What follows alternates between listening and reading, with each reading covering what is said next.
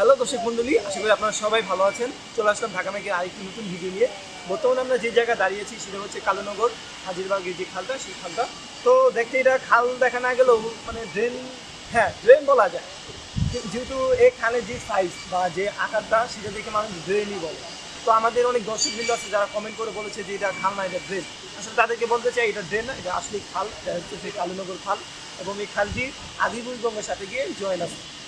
তো আজকে আমরা আপনাদের দর্শকদের আরও দুই তিনটা প্রশ্নের জবাব দিতে চাচ্ছিলাম তো দর্শকের একটা প্রশ্ন ছিল যে এই যে খালটার উপরে যে ওয়াকওয়েটা বানানো হয়েছে তো এই ওয়াকওয়েটা কি পাইলিং করে বানানো হয়েছে নাকি গাছের উপর বানানো হয়েছে? আসলে সত্য কথা বলতে ঢাকা অবস্থার কাজ তো একটু অন্যরকমই হয়। আসলে এই যে ওয়াকওয়েটা এটা কিন্তু গাছের উপরেই। প্রথমে গাছগুলো মাটিতে গেড়ে এরপর এর উপরে এই ওয়াকওয়েটা বানানো হয়েছে। তো সেই ক্ষেত্রে যদি এখানে পানির স্রোতটা কোনো সময় বেড়ে যায় তা আপনারা দেখতেই পাচ্ছেন যে এখান দিয়ে ওই যে গাছগুলো দেখা যাচ্ছে এই গাছগুলো যখন এই পানি থেকে স্রোত যখন বেড়ে যাবে, তখন কিন্তু এই গাছের থেকে মাটিগুলো সরে আসবে। তো সেই ক্ষেত্রে কি হবে যে এই ওয়াকওয়েটা তখন আর শক্তিশালী বা মজবুত থাকবে না। তো দর্শকদের কথা অনুযায়ী আসলে তাদের কথাগুলো সত্য যে যেহেতু এটা গাছের ওপর নির্মাণ করা হচ্ছে সেক্ষেত্রে এটা অবশ্যই এটা দুর্বল, খুবই দুর্বল। কারণ আজকাল পাইলিং করেও এই ওয়াকওয়েগুলো অনেক সময় টিকানো যায় না।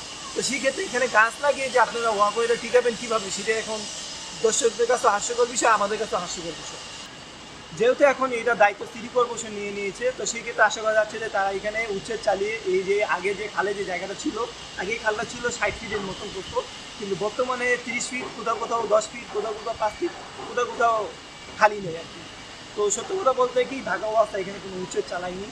না চালায় তারা যেই জায়গাটুকু ছিল, সেই জায়গাতে যেতে তারা এই দুনো পাশ দিয়ে গাছ ধুয়ে বা গাছ বসিয়ে এখানে একটা নর্মালিভাবে একটা ওয়াকওয়ে তারা বানিয়েছে। তো দেখতে পাচ্ছেন, দেখতে অনেক সুন্দর দেখা যাচ্ছে। যেহেতু তারা এই কাজটা করেছে সেহেতু তাদেরকে ধন্যবাদ জানাই, কারণ অনেক ক্ষেত্রে তারা এইসব কাজও করে তো যাই হোক, এখন যেহেতু ঢাকা শহরে প্রত্যেকটা খাল সিটি কর্পোরেশন আমদানি চলে আসতে আসতে তো আশা করা যাচ্ছে যে এখন আমরা আপনাদেরকে ভালো ভালো নিউজ দিতে পারব। বা হতে পারে এই খালটা যে আগে সাক্ষী ছিল, এই জায়গাটা হয়তো বা আবার উচ্ছেদ করে সেই সাক্ষী ফিরেও ফিরে আনা যেতে পারে। যেহেতু ঢাকা সিটি কর্পোরেশন অনেক ভালোভাবে তারা দায়িত্ব পালনের জন্য প্রতিজ্ঞাবদ্ধ হয়েছেন।